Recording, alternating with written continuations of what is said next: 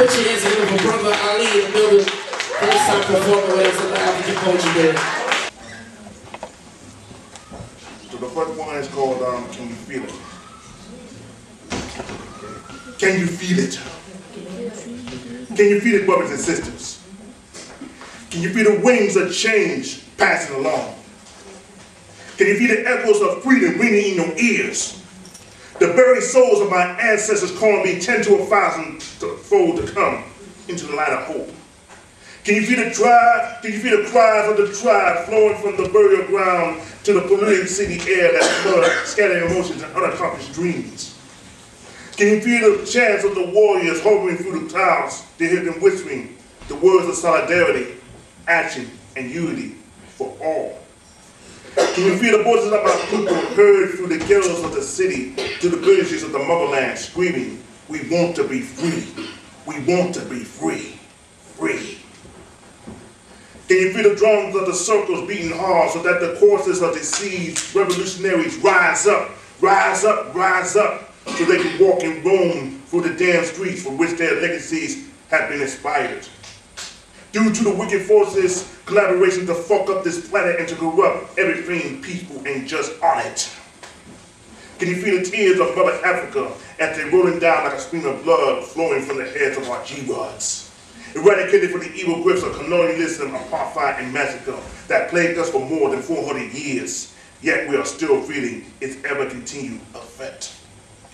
Can you feel the sobering cries of our youth who want, can you feel the sobering cries of our youth howling, howling through insensitive ears of those who want to turn back the flow of revolutionary change?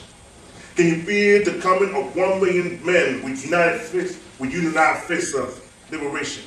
Can you feel the chill of power hissing through the dark storm, hoping the horizon with the fall of sweet bounding? Can you feel the spirits of King Tut, Shaka Zulu, Douglass, Sojourner Truth, Tubman, Wells, Marcus, Martin, Malcolm, Kwame, H. Rap Brown, and other scholars of revolutionary dialogue, screaming through the corridors of history, blinded by the blinded by the opinions of so-called historians who only believe in his story. While a more state of mind has been subjected by has been suggested by areas of interest, which are totally full of nonsense and of course bullshit. What I'm saying is, can you feel the tide solution changing? Can you feel the tortured lives of black men, women, and children surge with their cries of retaliation and pain? Can you feel the essence of the great tribes chanting their hymns of the Bible? Can you feel one million warriors screaming for retribution against a past corrupt Bush-controlled regime, whose one and only purpose is to systematically persecute and eliminate every free freaking brother that don't subject to their kind of rule? Tell me, can you feel the wave of hope passing through us? Can you feel the sea of positivity with a powerful tidal wave destroying every stench of negativity? Can you feel the light of wisdom shining on the world of hearsay? But furthermore, can you feel the power of our people? The voice of a new generation of poets and poetesses. The truth, the heart of a radical, the love for yourself, brothers and sisters. The time for revolution is coming, and it is near. Question is, can you feel it? Can you feel it? Yeah. Can you feel it? I can feel him coming. Oh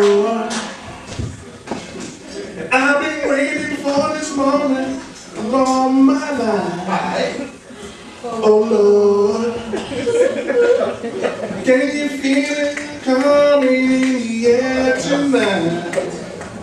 Oh Lord, oh Lord.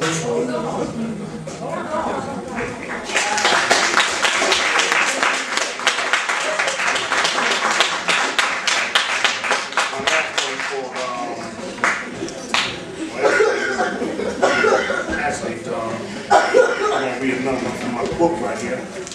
It's out. It's entitled Revolutionary Thoughts from the Mind of Radical. And this is my book. You get it online at stores.lulu.com slash the far corner. Too many niggatrons running weapon out of control set the ending of the harmless slave mentality. With the secrecy sucking to us by the ever-growing clouds of Anglo-Saxon culture.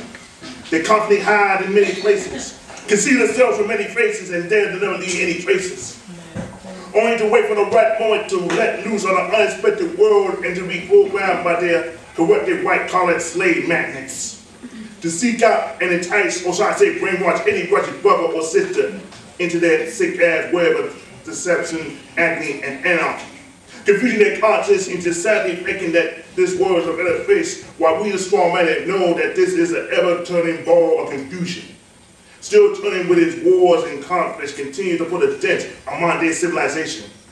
Niggatrons are still programmed by racist mindset computer chips, which are activated when real brothers question their blackness. Instead, they pack some heat and shoot up plots and cause a shitload of bloodshed, leaving a generation of innocent lives dead, dealing crack, weed, and other dirty drugs on the corner of the dead of night. Some of them want to be gangsters, crooks, hustlers, and thugs, having so many children with no to care, fucking up the poor child welfare. Food becomes simple pigs with dick, and dirty women become their hoes with nasty tricks. Seducing, seducing conscious brothers with that nasty infected sweet spot that makes them want to holler. But still, niggatrons are still blinded by like old man ruckus from the boondocks. Always worship the sick agenda in which they put upon us to hold us down and to have us harassed by their blue-collar foot soldiers only to them, only for them to reduce our lifespan by a third or maybe a half, causing a massive bloodbath of our people by a race who don't give a fuck about us. So tell me, how can we constantly reprogram the mind of a setup? Well, it's just that simple. But we kidnap the, but we kidnap the niggatron from his daily routine of causing mass damage then secluding him from reality into a dark corner of the mind where no one can find him. We begin the first phase of reprogramming by stripping away his man, stripping away the niggatron of his manhood, plaguing him to plaguing him to succumb to his insecurity just like a child with no mother or father to watch him grow. Strapping him down to the chair with the shackles of slavery, the same ones that the bastard slave mongers used to hold us down in their stinking plantations. Made that food cement to images, to the images and the horrors of suffering that the oppressors had placed among us causing him to panic, shiver, and sweat. Also forcing him to develop major paranormal relapse, shaking and coming close to the fact that it is his own hate, his own self-hate and loyalty to his master that got him messed up in the first place. Kissing his ass, sucking his big white dick, beating his personal big assisting him in making life so damn miserable for the rest of us. Can't have a damn thing, can't have a damn thing our own way, can't marry our own women, we gained in fight of front our own right because of his sellout ass. His dick programming section is ongoing so that fool can state the fact that he is turning his back on his own. Just for the love of his savior, the plantation king, the corrupter, the damn swindler. His brain, which is psychologically damaged by bigot white dialogue, which is separated from the cerebellum, only to be morally and pathologically washed from the old world bullshit that was fed us that fed to us by those sick ass sellout educators. His body would be branded and scarred like a piece of meat, left to be molded by the worst bacteria, eyes looking stone and blurred, only to see a collage of great black history wanting to be transmitted into his psyche. Still trying to be resistant to the fact that he's a king among kings instead of a slave. The niggatron would do anything to remain loyal to his damn suppressors by lying, scheming, and denying his own self, history, and culture.